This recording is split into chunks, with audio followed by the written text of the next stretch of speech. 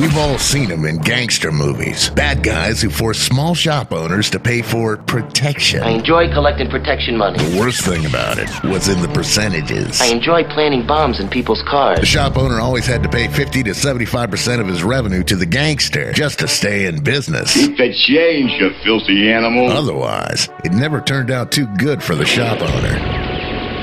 The bad guys are back, only this time the percentages have become 100 to 125% of revenues. Retroactively, or else.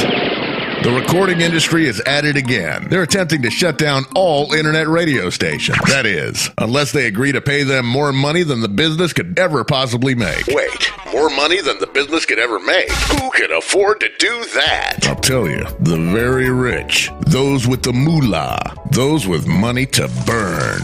If the record companies have it their way, only the very rich will be able to afford to broadcast on the internet. And what will internet radio sound like then?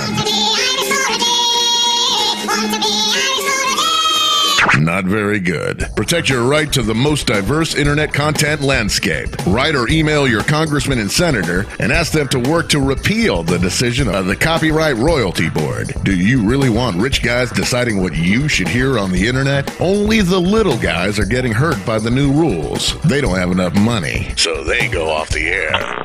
It only takes a few minutes, protecting the little guys from the fat cats. After all, doesn't the recording industry have some little old lady or a 11 year old kid somewhere to sue? I've fallen and I can't get up. When you're addressing this court, you will rise and speak to me in a clear, intelligible voice. Do it now.